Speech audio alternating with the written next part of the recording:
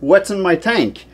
So today we're going to talk about, uh, you might see some little white bugs on top of your water jumping around or crawling on the lid of your tank and uh, wonder what is that? Is that dangerous?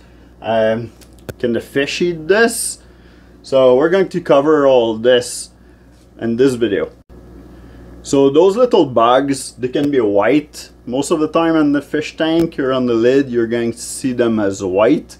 But depending of the background and, uh, some other color around the area, they might look brown or black. Uh, but most of the time, they're white. So those are little bugs that will skip on top of the water. You know, those little, uh, little white spot here jumping all over the water here. This little bug called springtail. Now, contrary to fleas, they don't bite. You don't have to worry about this. They're only called uh, snow flea because they jump like fleas. So they can jump up to 10 times their height. And so, you know, they skip like couple, sometimes they skip a couple inch at the time and stuff, just jumping on top of the water and uh, they don't sink they just float on top and they're able to, to jump and yeah those little bugs there they're not dangerous for your fish. Your fish can eat them. Um, what they do it's they only eat uh, they eat algae they'll eat molds as well. And anything that will grow on the edge of your tank if you don't do proper maintenance. If you leave uneaten food up there or you know like in the little groove beside your lid or something like that uh, they'll feed on that. And uh, also you know you need to wipe there once in a while because they will grow some mold there because there's always a little bit of moisture in between your lid and then uh, the, the plastic frame of your aquarium right? So you don't have to worry about those bugs going all over your house or crawling everywhere unless you're living somewhere where the roof is dripping or there's a pipe leaking down or something like that. Because they need to have moisture in order to survive and to thrive. And uh, so you know going into your house is the last thing that they want to do because they're leaving the comfort of the water where it uh, provide everything that they need. Food shelter like everything and it keeps them moist. So here's the little trick about that like cause you know they're you, you don't really want to see them like they're they're nasty to see and stuff and you don't want bugs. Like if there's too many they'll start crawling on your tank and stuff and you know who wants to see that right? Like you don't want that as a show tank anyway.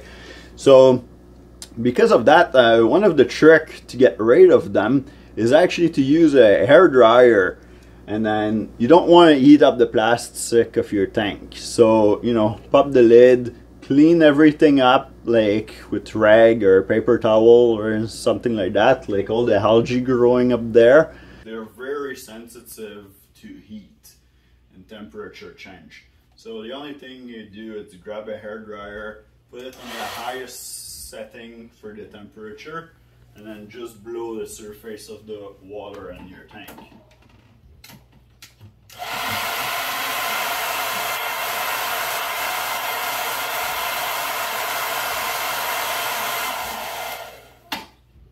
So just doing this for a little while, now I didn't do it long enough, you just do it for a little while, that's gonna kill them and then your fish will feed on them it won't be an issue.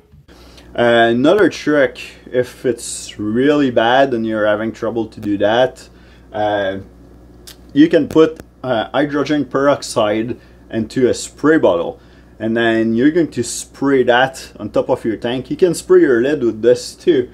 Uh, the hydrogen peroxide is fine for your fish because it becomes inert if it touches the water because hydrogen is part of the water bonding chemical uh, with oxygen and stuff so you don't have to worry it becomes water after it you know retouch water and not exposed to oxygen and all that stuff.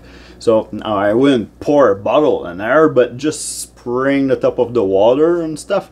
Because the bugs don't go inside the water then it will burn them. So you know you're going to get rid of them that way. Uh, you're going to kill most of those bugs and your fish are going to be fine. So that's a little trick there to get rid of them. And then whatever you don't uh, kill or whatever is left in there your fish can actually feed them. Uh, the only time that it will be dangerous it's uh, if your tank is full of molds and those bugs are eating mold then uh, you know their stomach's full of mold so your fish is eating all those bugs and then they'll end up like eating too much mold and it can make them sick or have issues. But uh, you know if you're doing a regular maintenance on your tank and it's not like growing like nasty food crumbs at the top there rotting and it's not uh, it's not uh, growing molds, then those bugs are just going to feed on a little bit of algae and biofilm that are that is on your tank, so they'll be full of nutrient for your fish. Now, if you have multiple tank or uh, you know a fish room or something like that, and you're doing maintenance from one tank to another, and you have those uh, snow fleas or springtail in your tank.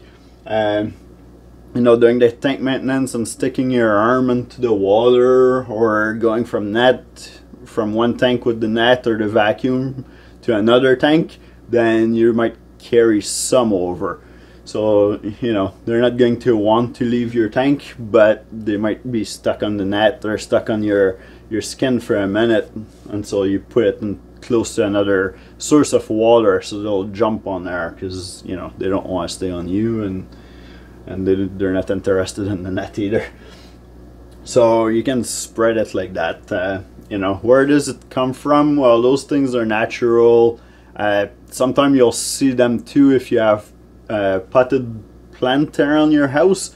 Uh, because they like it when the soil is nice and moist all the time so you might be bringing some inside your house from from uh, you know dirt with plants and stuff uh, they might come from like you know the fish store or wherever you bought your fish from if they have an issue with them.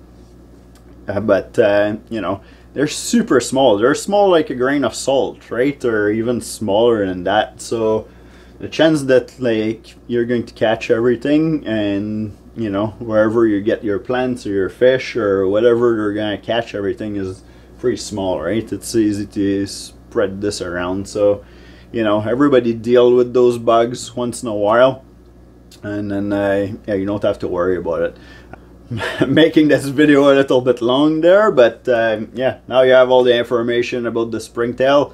Uh, look it up if you want to have more information but I think I pretty much cover everything that there is to know there. So uh, yeah we'll see you in the next video.